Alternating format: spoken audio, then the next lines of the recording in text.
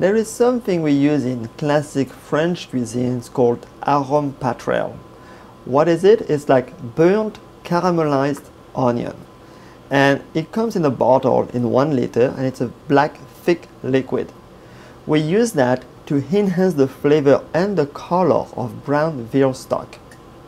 This product is not sold in North America.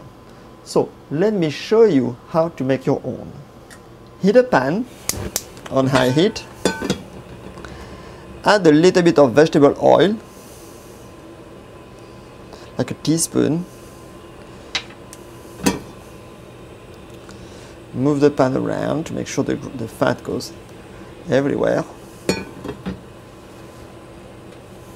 Then the onion that you cut in half, place it down in the pan, cut side down, and we're going to cook it for a couple of minutes here.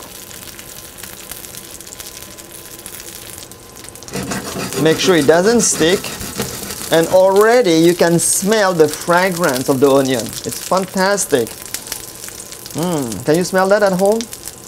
Turn it off and place the whole pan in the oven.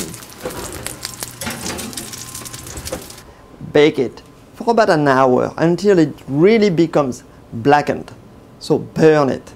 This is the only thing you're allowed to burn in the kitchen. Take the onion out.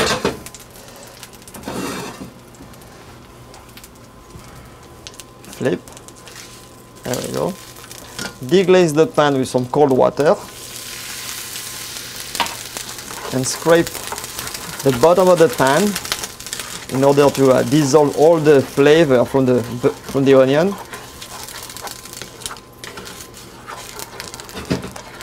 Get your stock pot.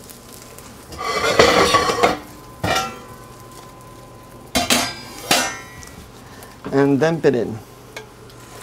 So, look at the color of the water. You see how dark it is? This is flavor.